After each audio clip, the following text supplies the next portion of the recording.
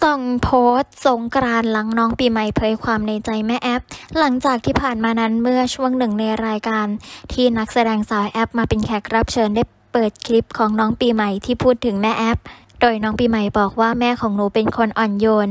แม่พูดจาพูดเพราะไม่เคยพูดคำหยาบเลยค่ะ ไม่เคยพูดเพ้อเจ้อเป็นคนพูดสั้นไม่ได้พูดยาวๆ คุณแม่ใจดีนะคะ แต่ก็ดุบ้างบางครั้ง ถ้าปีใหม่ทำผิด คุณแม่ก็ดุแต่จะดุสั้นๆ ก็กลัวคุณแม่เหมือนกัน แต่ก็เข้าใจเวลาคุณแม่ดุ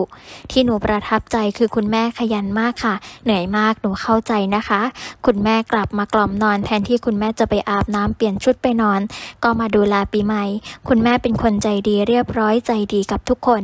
สุภาพมากเลยค่ะ ชอบที่คุณแม่เป็นแบบนี้ ปีใหม่อยากเป็นเหมือนคุณแม่ สิ่งที่อยากบอกคุณแม่คือ หนูรักคุณแม่ที่สุดในโลกมากกว่าใครในโลกนี้เลยค่ะ ขอบคุณที่คุณแม่ดูแลปีใหม่สั่งสอนปีใหม่อย่างดี ปีใหม่ก็จะดูแลคุณแม่เหมือนกันค่ะ และก็ขอโทษที่บางครั้งหนูอาจจะเป็นเด็กดื้อไม่ฟังคุณแม่แต่สัญญาจะไม่ทำแบบนั้นอีกแล้วค่ะ ถ้าคุณแม่เหนื่อยจากการทำงาน ก็พักได้นะคะ หนูสัญญา หนูจะไม่ใช้เงินเยอะค่ะ